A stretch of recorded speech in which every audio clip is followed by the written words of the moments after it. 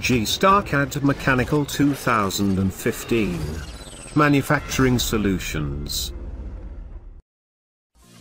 In this video, I want to introduce you some dimensioning tools to speed up annotation process. First, we insert a vertical dimension by selecting two points on the drawing. The dimension color changes, and is placed at snap distance in a click.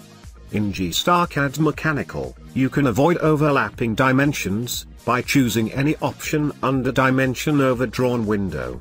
Click Multiple Dimensions button from the ribbon, to faster create baseline dimensions at parallel tab of the window. Select only those objects to be applied the dimension limits. Finally, select the origin point of the dimensions. Next, I will delete unwanted dimensions, and then arrange properly the remaining dimensions. Select the Arrange Dimension button on the ribbon, and select the dimensions. Note how the dimensions will automatically adjust the remaining gap.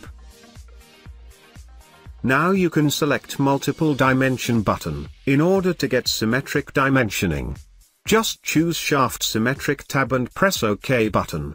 In few clicks, select objects like center lines and outer edges of the drawing, to get symmetric dimensions.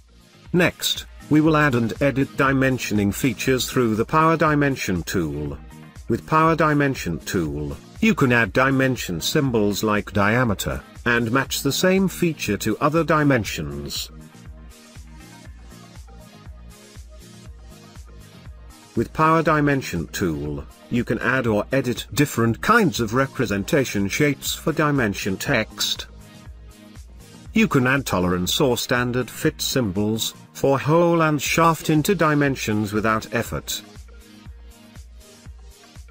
Finally, I will show you how to add a chamfer annotation.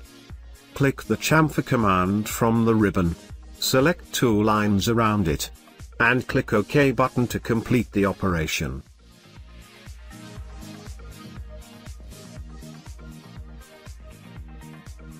Get more details of more dimensioning tools on GstarCAD Mechanical 2015 help document.